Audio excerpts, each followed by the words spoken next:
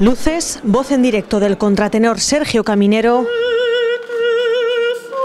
y estreno.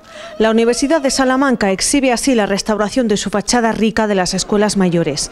Durante casi cinco meses ha trabajado en ello un equipo multidisciplinar de medio centenar de profesionales coordinados por la Fundación Santa María la Real del Patrimonio Histórico es uno de los ejes fundamentales de la conmemoración del octavo centenario y nosotros estamos muy satisfechos de que después de la consolidación de la crestería del edificio histórico que tenemos aquí al lado, tengamos esta importantísima actuación que devuelve la fachada rica del edificio de escuelas mayores de la universidad a todo su esplendor y que esperamos que siga estando así durante muchos años gracias a las actuaciones que se han llevado a cabo por la Fundación Santa María la Real. La actuación no solo ha consistido en la rehabilitación de esta portada, sino que se completa con un plan de difusión que ayudará a conocer mejor este conjunto.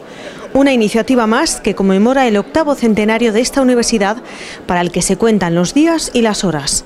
Quisiera destacar también el papel fundamental de la Universidad de Salamanca, no solo desde el punto de vista docente y universitario, sino también en cuanto a la labor de conservación y de protección de su magnífico patrimonio histórico.